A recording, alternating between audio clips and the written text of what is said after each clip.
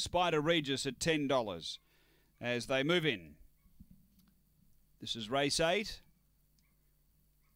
The light on, we're ready to go. Set to run. Grade six, second division on their way. And showing speed here is Cinnamon Rose is going to drive through and be the lead going to the first bend. Cinnamon Rose away by two. Doing the chasing, Spider Regis. The inside is Menacious. They were followed by Fantastic Joey out wider. Then came Harvey Spectre. Next is McIver Neville. And back at the tail end is Hayride Rampy. Cinnamon Rose, they've got to it pretty quickly. Menacious went up and moved past it. Then Spider Regis and out wider Fantastic Joey turning for home. Menacious is nicely clear over Fantastic Joey. Spider Regis and Menacious too good.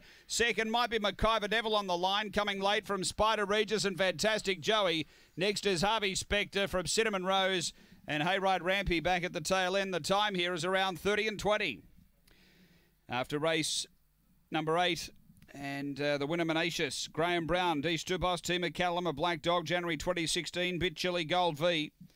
Number one first, uh, second going to two, McIver Neville finishing on late for Kevin Bewley. A Red Fawn Dog, May 2015. Bellion for Red Blonde Caviar. And third to five, Spider Regis, Bob Isaacson. A Black Dog, December 2015. My bro Fabio Pippa Shiraz. 1258, race 8 at Angle Park.